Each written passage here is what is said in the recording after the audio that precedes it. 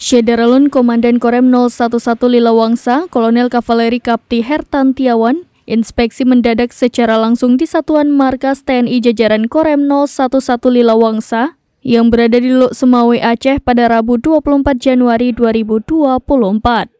Didampingi Kepala Staf Korem 011 Lilawangsa, didampingi Kepala Staf Korem 011 Lilawangsa Letkol Infanteri Eko Wahyu Sugiarto, dan Rem Kolonel Kapti Hertantiawan mengecek perkantoran dan pangkalan termasuk gudang logistik, kendaraan dinas prajurit dan peralatan yang memiliki satuan Denbekang, Denpal, Denkesha, Rumah Sakit Kasrem TNI Angkatan Darat dan Kodim 0103 Aceh Utara.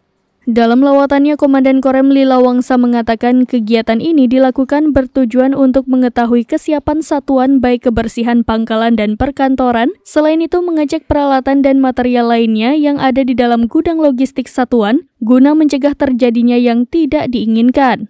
Orang nomor satu di Korem 011 Lila Wangsa itu mengingatkan kepada para komandan satuan agar memerintahkan anggotanya untuk merawat barang-barang inventaris dan kelengkapan surat kendaraan dinas bermotor roda 4 maupun roda 2, motor dinas yang diberikan untuk digunakan operasional tugas.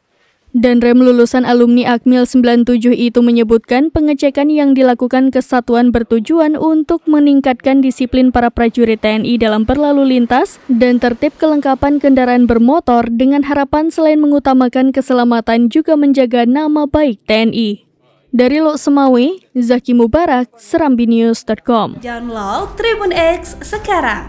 Menghadirkan lokal menjadi Indonesia.